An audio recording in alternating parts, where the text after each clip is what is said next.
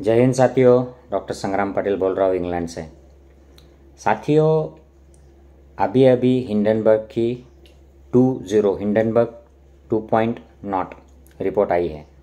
और उसमें ये कहा गया है कि हमारी security exchange board of India की जो चेयरमैन है, माधवी पुरी बुच, ये मैडम ने अदानी के साथ कनेक्शन किया है, अदानी की कंपनीज़ के साथ।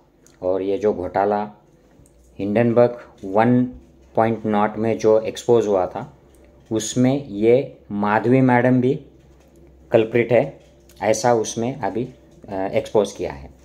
तो ये जो क्रोनोलॉजी है, ये शॉर्ट में समझिएगा, ये बहुत शॉर्ट वीडियो है और शेयर कीजिएगा।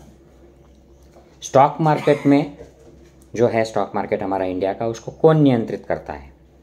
तो इसको सेबी नियंत्रित करती है security exchange board of India और इसका चेयरमैन कौन है? माधवी पुरी बुब। इसको चेयरमैन किसने बनाया है? विश्वगुरु मोदी सेठ। सेबी की चेयरमैन ने कहाँ पर पैसा लगाया है? दस मिलियन डॉलर। तो ये अदानी की जो घोटाला करने वाली जो कंपनियाँ हैं, उनमें। यह अभी हिंडनबर्ग टू पॉइंट नॉट में एक्सपोज हुआ है। और स्टॉक मार्केट में घोटाला किसने किया है? अदानी की कंपनियों ने। माधवी मैडम ने पैसा लगाया है अदानी की घोटाला करने वाली कंपनियों में। अदानी ने स्टॉक मार्केट में घोटाला किया है।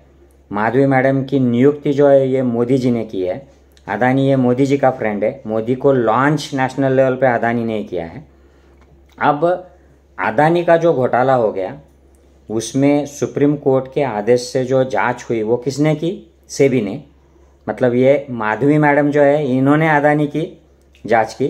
इन्होंने सुप्रीम कोर्ट में अदानी को क्लीन चिट दे दी नवंबर 2023 में और कहा कि ये जाँच किसी भी दिशा में नहीं जा रही है, दिशाहीन हो रही है। इसमें अदानी का कोई रोल नहीं आता है।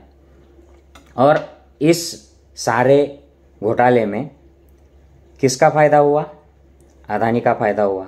नुकसान किसका हुआ? जिन लोगों ने अदानी के कंपनी के शेयर खरीदे इस घोटाले के आ, हवा में आकर इस आशा से कि हमें भी इसमें पैसा मिल जाएगा हमारी भी इन्वेस्टमेंट बढ़ जाएगी। तो ये कितने का बाम्बू लगा दिया अदानी ने लोगों को भारत के लोगों को? आठ लाख पचास हज़ार करोड़ का।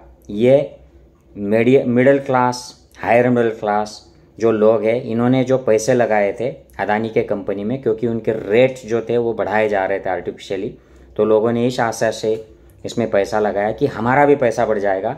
ये आठ लाख पचास हज़ार करोड़ अदानी ने कमाया। और इसमें कौन कौन है?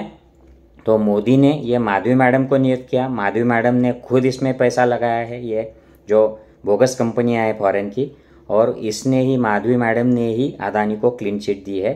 और मोदी जी, अगर कोई बोलता है अदानी के खिलाफ संसद में, वो राहुल गांधी हो, महुआ मैत्रा हो या संजय सिंह हो, उनको एक तो संसद से निकाल देते हैं या तो फिर जेल भेज देते हैं।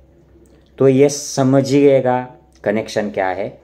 तो इसमें राहुल गांधी ने जो पिछले बार 2019 में इलेक्शन में जो प्रचार किया था कि चौकीदार ही चोर है, ये बात आपके समझ में आ जाएगी। तो ये शेयर कीजिएगा वीडियो। जय हिंद साथियों।